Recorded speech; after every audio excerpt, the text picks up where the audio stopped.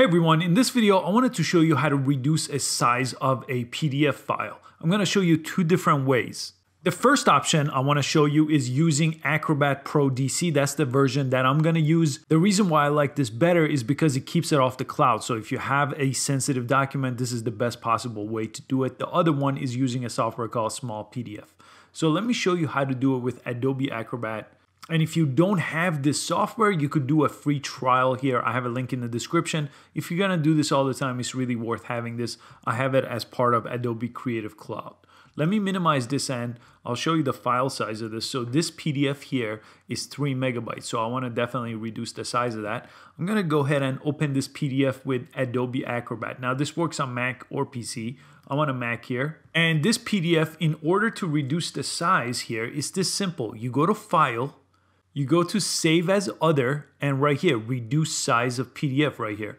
If I press that, it's gonna let me reduce it retaining existing compatibility. You see these options here. This first one's fine. I'm gonna press okay. And I'm gonna go ahead and save this on my desktop here as small.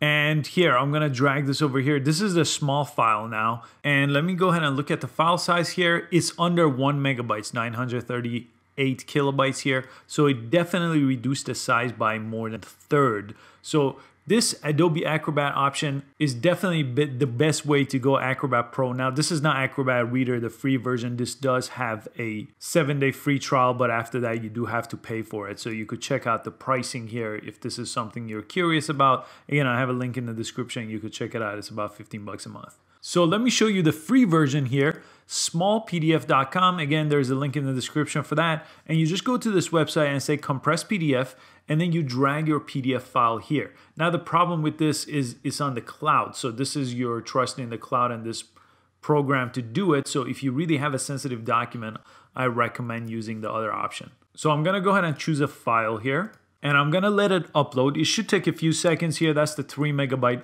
file that I'm uploading here.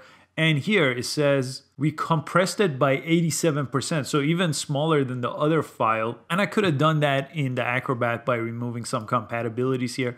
Let me go ahead and download that file.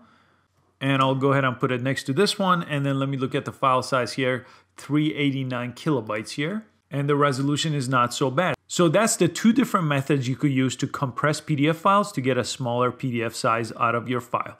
I hope you found this useful. Please give it a like and subscribe to the channel. I post tech videos every single day just like this one and I'll see you on the next video. Thank you so much for watching.